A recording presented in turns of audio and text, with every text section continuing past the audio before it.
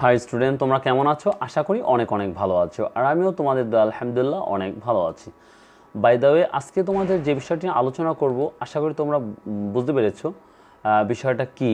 যে হসপিটালাইজ অর্থাৎ তোমার বন্ধু অসুস্থ, খুব অসুস্থ হয়েছে এবং হসপিটালে সে ভর্তি আছে এবং তোমার সামনে হয়তো পরীক্ষা বা অন্যান্য জরুরি কোনো কাজ থাকতে পারে, সেই কারণে তোমার বন্ধুর সাথে কি তুমি দেখা করতে যেতে পারতেছো না।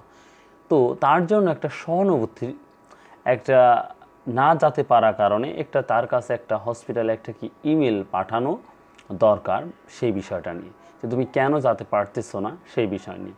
তো একটা এটা একটা গুরুত্বপূর্ণ ইমেল এটা ক্লাস আমি মনে করি সকল শ্রেণি শ্রেণির জন্য এটা খুব ইম্পর্টেন্ট একটা ইমেল বিশেষ করে জেএসসি এবং এইচএসসি এবং এসএসসির জন্য একটা খুব ইম্পর্টেন্ট একটা ইমেল এবং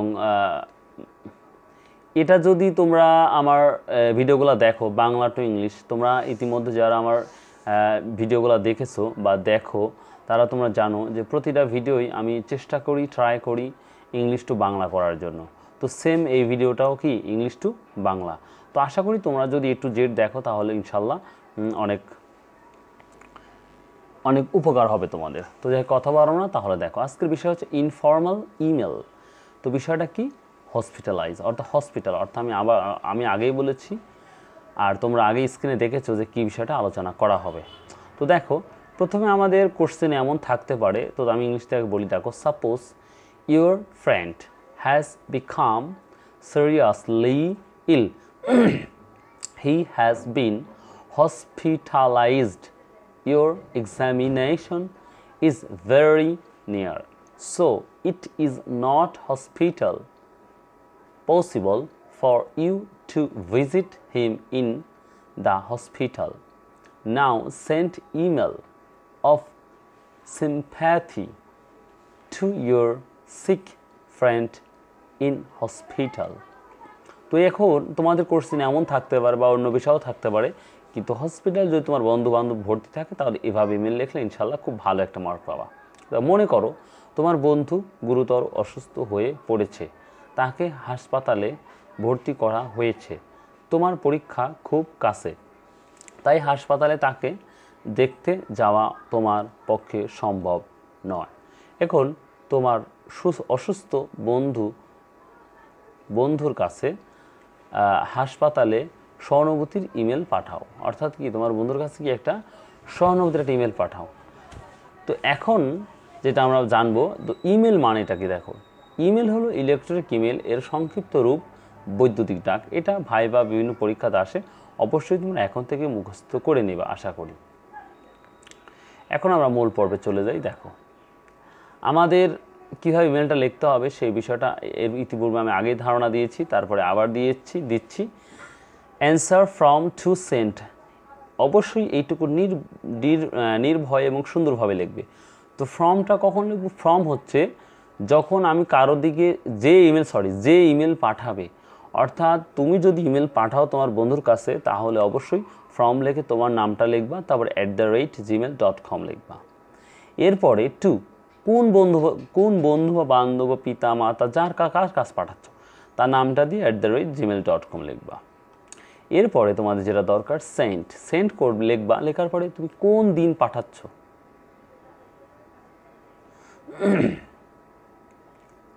তুমি যেই দিনটা পাঠাবে অবশ্যই সেই দিনটার নামটা লিখবা।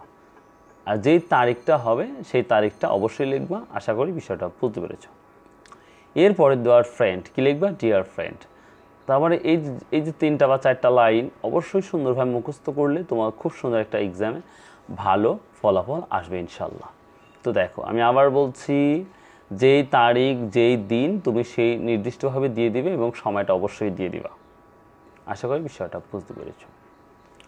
ডিয়ার ফ্রেন্ড দেখো the news of your illness has made me sad. I could have come to visit you, but unfortunately, my annual examination is very near.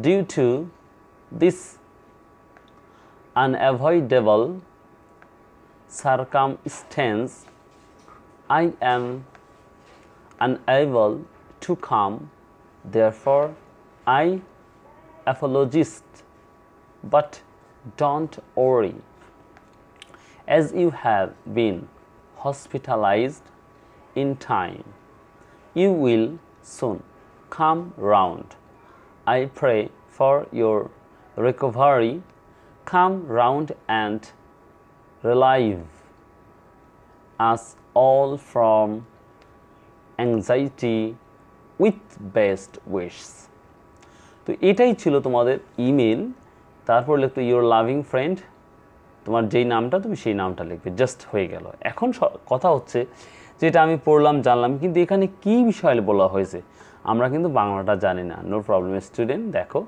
আমি বাংলাও সুন্দর করে করে দিয়েছি, তোমাদের জন্য ইজি হয় এবং সহজ হয়, দেখো। নাম দিয়েছি, অবশ্যই আগের মতন যে- দেবে, তার নামটা লিখবা, প্রতি, যার কাছে পাঠাবে, তার নামটা লিখবা এবং অ্যাট দ্য রেট জিমেল লিখবে। পাঠানো, অর্থাৎ বার লিখবা এবং যেই তারিখ, সেই তারিখটা লিখবা এবং সালটা লিখবা এবং সময়টা লিখবা। প্রিয় বন্ধু, দেখো আমি কি লিখেছি। তোমার অসুস্থতার খবর আমাকে ব্যতীত করেছে। আমি তোমার সাথে দেখা করতে আসতে পারতাম, কিন্তু দুর্ভাগ্যবশত আমার বার্ষিক পরীক্ষা খুব কাছাকাছি। এই অনিবার্য পরিস্থিতির কারণে আমি আসতে পারছি না, অতএব আমি ক্ষমা প্রার্থী। আমি ক্ষমা, দেখো।